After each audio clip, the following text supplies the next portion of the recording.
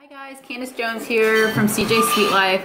Today I'm excited to talk about um, how to really like clean up your um, medicine cabinet so that you can start actually healing yourself rather than hindering your health through um, just medications that you might be getting from the grocery store or um, drugstore. So I want to kind of start out with a block of items that you might use for allergies, cold, sinus infections, um, any sort of cough or sore throat. Now, anytime I feel something coming on, like usually I can feel it in the pressure of my head, um, I automatically go to my best friend, apple cider vinegar. And sometimes I'll just literally just put it in a shot glass and take a shot of apple cider vinegar and it I feel like it instantly kind of um, a it helps clear out the sinuses, kind of like horseradish in the sense of how it, it's very um, strong and um, I don't know pungent, and so it really just helps to clear out your sinuses. But um, other ways you can make like a drink form of it. Um, one of the drinks that I like to do is you can put it in baby mainly like I'll start out with like a capful and put it in a glass of water and I might put some honey or you could put even like apple juice like fresh apple juice in with it um, to give it that sweetness. You could also just do you could add like ginger which is a great um, antibiotic. And so that that's like first of all great start. So start adding the apple cider vinegar in again right where you're going. And it's also um, a probiotic in the sense because it's a fermented food. So you want to start adding more pro- probiotics into your life because it helps with your, your digestive system, right? So we we do know that um, immune health is related to basically a, a strong digestive system. So we want to make sure that we're building up our bacteria in our gut system, and a lot of that is um, related to or to our diets, but also to the overconsumption of antibi- antibiotics. Um, and that that's even in our food. Like if you're not getting um, meat that is um, grown properly, it, they're injected with antibiotics because they're just not in a very clean environment. But also because we just, I feel, and every time I go to a doctor, um, and this is probably most of y'all, that it just seems like antibiotics seems to be the number one prescription. And even if things are not even um, bacterial, for instance, like an earache, um, earache is mainly, most of the time, I should say, viral.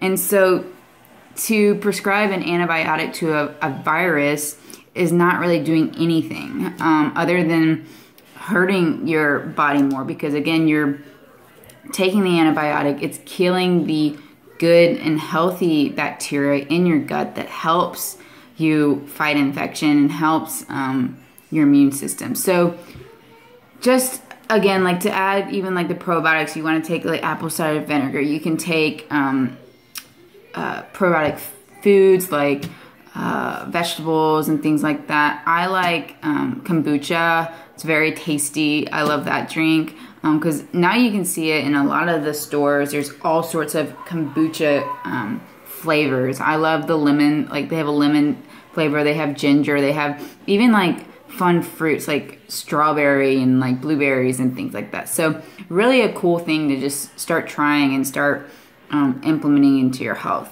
Um, so that's kind of like the first thing I always do.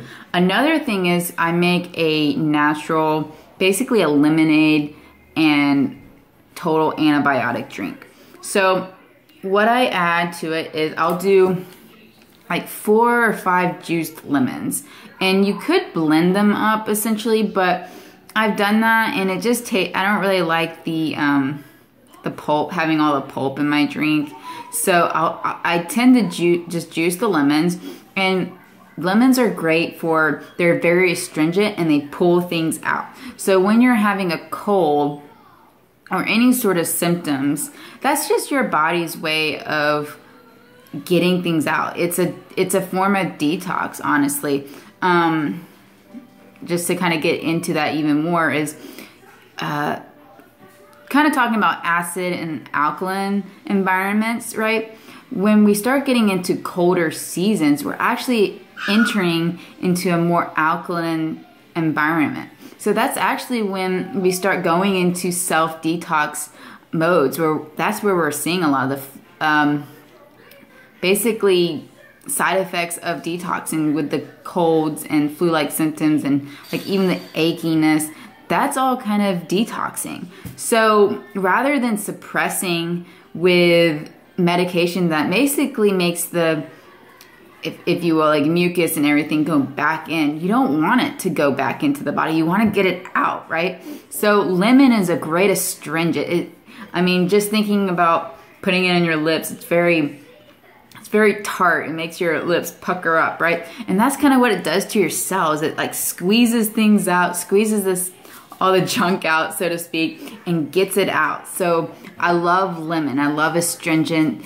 Um, citrus fruits for that for that reason. So a lemon is a great thing, and of course the vitamin C. You're wanting to get that um, into your body when you start having any sort of cold or flu-like problems. So get the get the lemon right. Another thing is to okay. Hi guys. So another thing you want to add into that drink is raw honey. And this is actually a great thing to be adding into your everyday life, especially if you tend to have allergies. Um, you want to go for local raw honey, if that. That way, you're almost getting some of the allergens or um, the pollen basically from flowers that are in your area. So you're giving your body just like little. Um, jolts of that allergen that so that you can kind of start taking it in on small amounts and start building an immunity to it.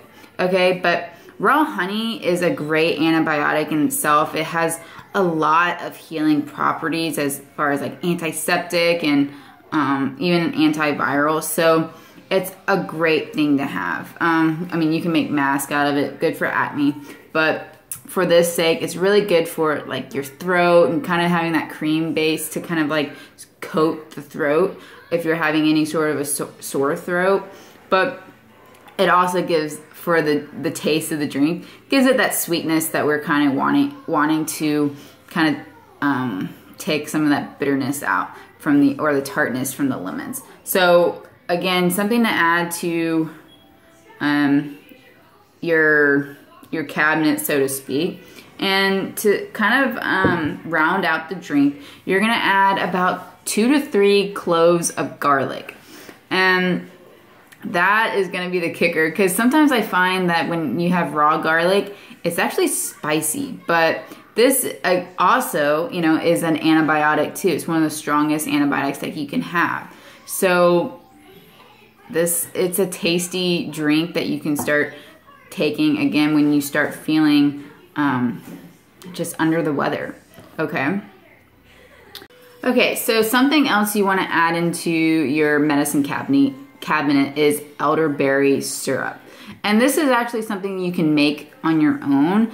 It's made from elderberries, which are basically berries, it's like just like blueberries or blackberries, whatnot.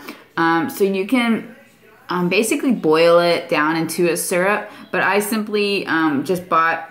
This one is straight up from um, Sprouts, and it's it's it's just elderberry itself, and this is not as sweet as um, blueberries or raspberries may be, but it's just a great thing that to coat your throat and um, get rid of any sort of infection that you might have. So I will do that like a couple of times a day. And for my kiddo, I just did, um, this has a, a, little bit of a blend of um, Echinacea um, and elderberry, which Echinacea is a, a, strong herb as well that's just um, great at healing properties. So I will just put this in like his juice. Like I'll make a an orange juice or an apple juice and I'll just put a little bit. It, it usually it it goes by weight, of course, so you can just kind of like measure it that way.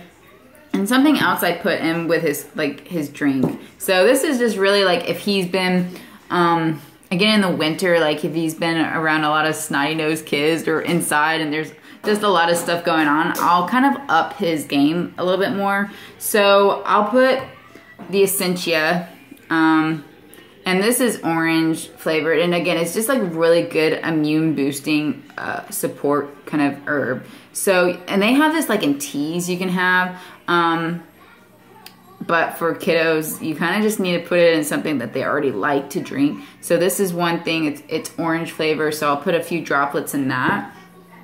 I'll put a kid's um, probiotic, probiotic in it as well.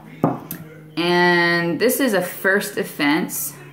Um, so this kind of has a little bit of everything. This has zinc and colloidal silver and um, again, all kind of like immune boosters as well. So I'll just kind of like put a little droplet of everything and just um, give him that immune boost. Because a, I'm not one to um, give my kid a lot of like um,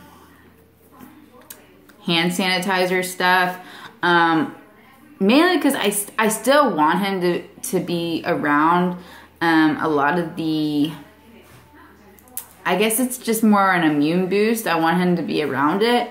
Um, but also a lot of anti-sanitizers are very, unfortunately, toxic. And I think we're overusing um, antibacterial soaps and things like that. So I just like to boost it with herbs to kind of boost, but also strengthen in, in itself. So those are kind of, what else do we have? Um, so I kind of went in some of the essential oils, but um, especially if you're feeling that you know you need to clean up the air, you could do some tea tree oil and a diffuser, and that kind of kills any sort of virus in the air. So you get that going. A tea tree is great for even like mold or anything that's going on in the house. Of course, we've talked about it's very, it's a good cleaner, right? So it destroys any sort of airborne pathogen. So very good to get that going. But even to, um, you can make your own like vapor rub with eucalyptus and like peppermint oil.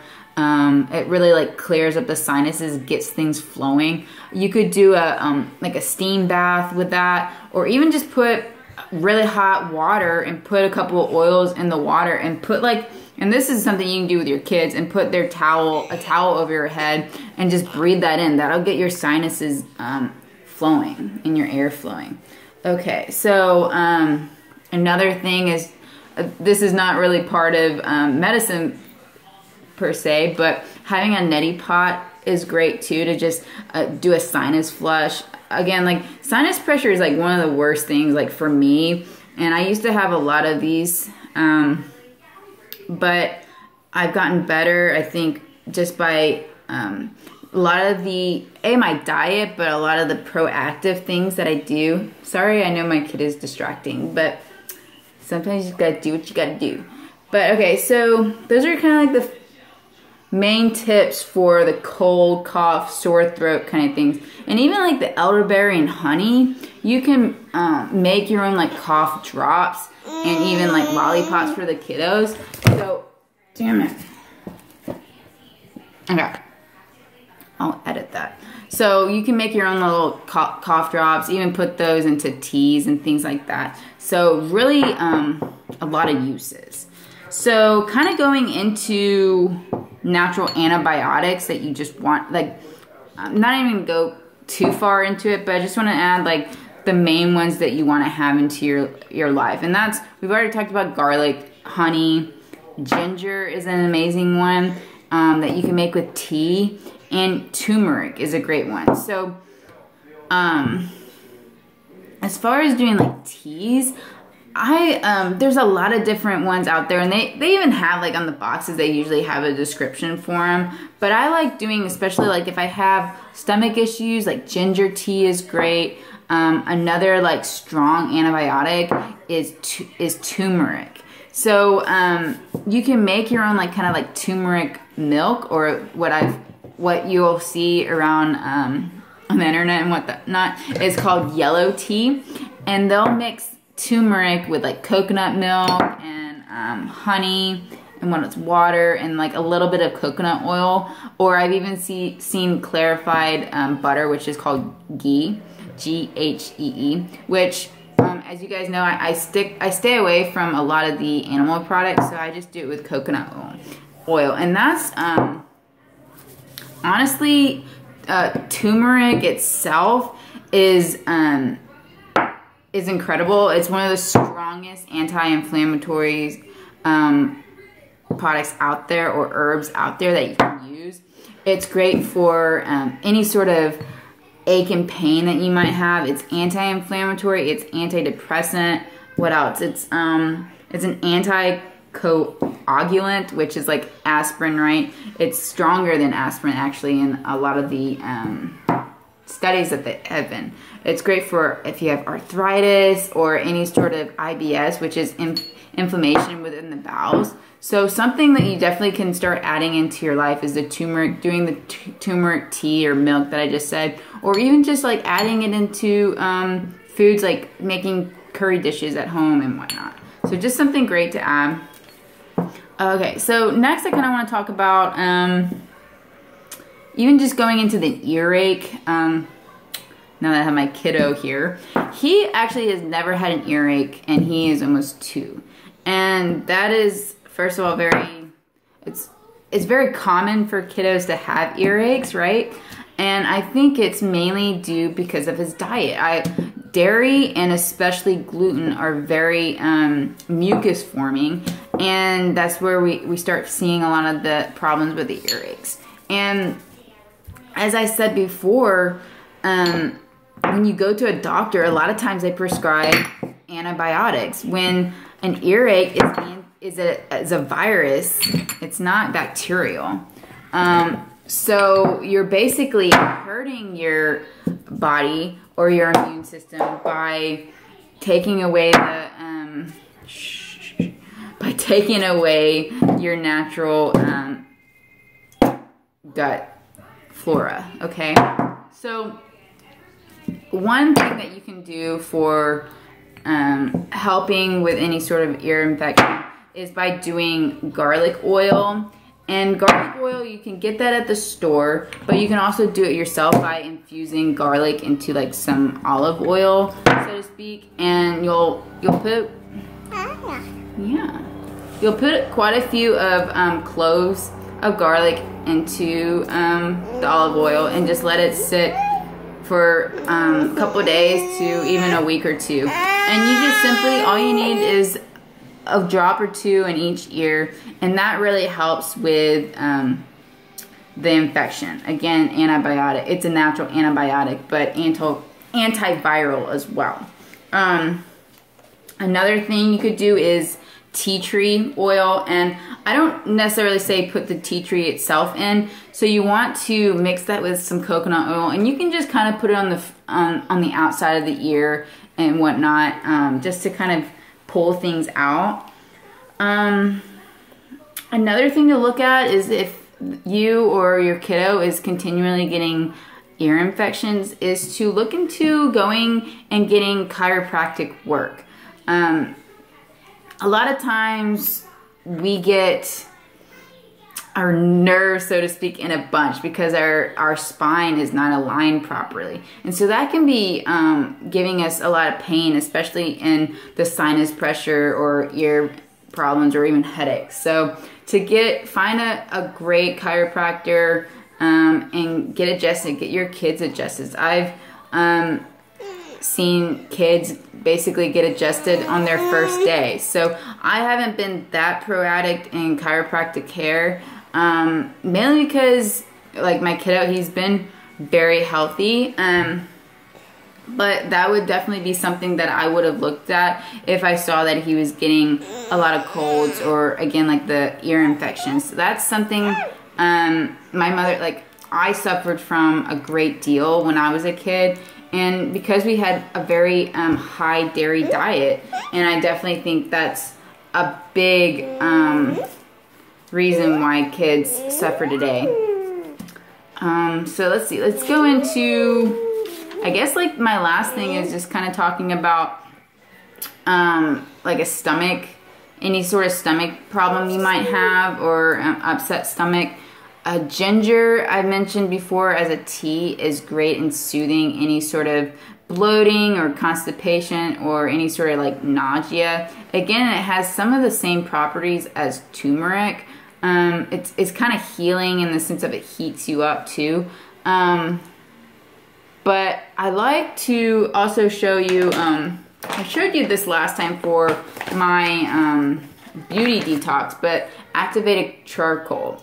And normally I, I don't ingest the charcoal because it has a very binding effect. And we use charcoal today in um, like our water filters. It helps filters out the toxins. So essentially that's what it's doing in your body. It's binding in sort of any sort of toxins um, and so if you have had any sort of, well, if you've over um, indulged in alcohol, um, that might be a good one for a, hang a, hangover cure. But also, if you have any sort of food poisoning, uh, activated charcoal would be a good thing to just kind of take with some water or even take with um, coconut oil. And don't, well, you're probably going to be doing it on an empty stomach because you're probably like throwing up or whatnot. But it would help some of the symptoms and get some of the um, the thing, the food, I guess, food particles that are causing all your issues. Um, what else? That's about it as far as even the stomach is concerned. I I mean I talked about probiotics, so that's that's the other thing that I would add is just to make sure that you're upping your probiotics naturally in food, of course, um, and then of course looking into your diet and essential essentially as far as improving your health as well. Um, sort of let's see. I have a few essential oils as well that you can start adding into your diet or sorry your routine and these I like to use um, I'm not really going to go into the properties so much as just um, top ones that again I like to have in my medicine cabinets um, so to speak and again I like to use these in different properties by taking baths I like to diffuse them in my diffuser or humidifier um, or even just put them I used to have I took it off a, a bracelet that had um, like a clay on it. So I would put it there and just smell it. Or you could drop it into um, your like your steam bath again to like kind of get it out. But so some of the top ones I would say is again like eucalyptus, um, tea tree, lemon, clove, cinnamon, ginger, of course, and peppermint, again, for just getting your sinuses moving. But yeah, so again, these are kind of my, my favorite tips to just help you get through the next couple of months. Um, I know like cold and flu season is hard, but it's also um, pretty cool because to of go back onto the acid and alkaline environment, it's actually very alkalining the cold. So you're actually getting um, things moving, right? So you want to clean it up as much as you can. But again, I didn't. I don't want to make this too long. And again, I can probably go off on a lot of these um, products here, but I just wanted to give you a clip, a quick kind of um, rundown as far as what I would add and thanks for seeing my little kid. But thank you for watching me today and I hope this helps you guys especially in the upcoming months and to help you get stronger and healthier. Um, please give me a thumbs up and a like and a follow of course and I love you guys for watching. Bye